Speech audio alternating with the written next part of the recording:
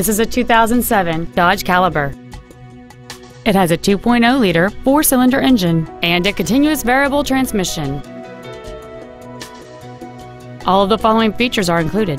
Air conditioning, full power accessories, a CD player, a four-wheel independent suspension, 17-inch wheels, a rear spoiler, a chrome grille, side curtain airbags, privacy glass, and a multi-link rear suspension.